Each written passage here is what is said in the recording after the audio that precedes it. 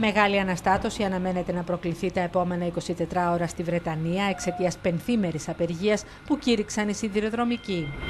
Ήδη από την πρώτη μέρα της απεργίας, εκατοντάδες δρομολόγια ακυρώθηκαν. Συνολικά καθημερινά θα ακυρώνονται 946 δρομολόγια τρένων από τα 2.242 που είναι προγραμματισμένα. Για όσους χρησιμοποιούν το τρένο καθημερινά για να μεταβούν στην εργασία τους, τα προβλήματα θα είναι πάρα πολύ μεγάλα.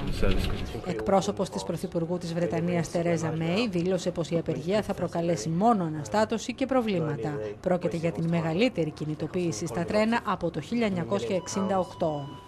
Ο κλάδος βρίσκεται σε κινητοποιήσεις από τον Απρίλιο, αντιδρώντας στις αλλαγές στον τρόπο εργασίας αλλά και στο σχέδιο εξυγίανσης των εταιριών που προβλέπει απολύσεις. Συγκεκριμένα, οι μηχανοδηγοί αντιτίθενται στο να χειρίζονται οι ίδιοι το αυτόματο άνοιγμα και κλείσιμο των θυρών.